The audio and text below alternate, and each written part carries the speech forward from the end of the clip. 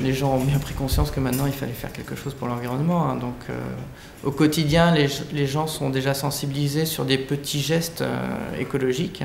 Et donc je pense qu'avec une sensibilisation un petit peu plus importante, les gens maintenant ont vraiment l'intention de faire quelque chose. Et notamment au niveau des produits ménagers et cosmétiques. Euh, et c'est vrai que l'aventure est assez fantastique.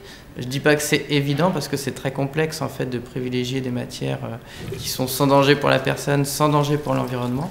Mais au bout du compte, on arrive à faire des produits non seulement de, qualité, mais en plus qui, ont un sens par rapport euh, à l'impact environnemental.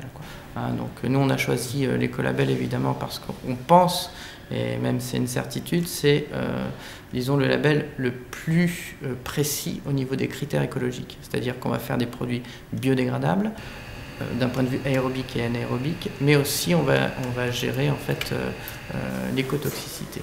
Je pense que ça va dépasser la France très rapidement.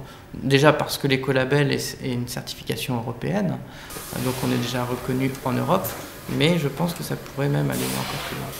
Et puis c'est vrai que, bon, là je vais, je vais parler RD, mais c'est vrai qu'ici on conçoit les produits et après quand on les voit sur le, sur le marché et que les gens sont contents, c'est une satisfaction vraiment personnelle, c'est génial. Ça serait viable, moi je pense c'est viable pour la planète surtout, parce qu'on a des, des, produits qui sont facilement biodégradables. Euh, et qui ne sont pas dangereux pour les organismes aquatiques. Donc euh, non seulement c'est viable, mais c'est vraiment l'avenir. Si on veut vraiment faire attention à la planète, il faut aller vers ces produits-là.